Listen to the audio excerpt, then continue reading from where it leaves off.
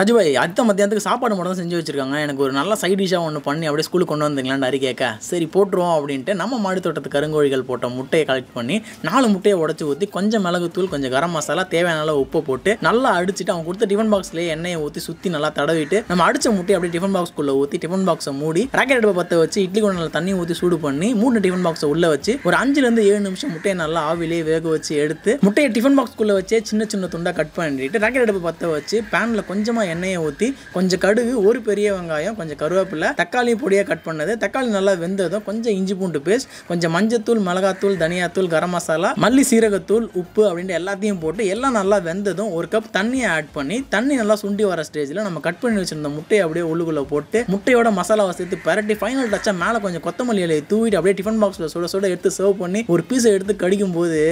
முட்டை சுக்கா டேஸ்ட்டு சும்மா ஜம்முன்னு இருக்கும்.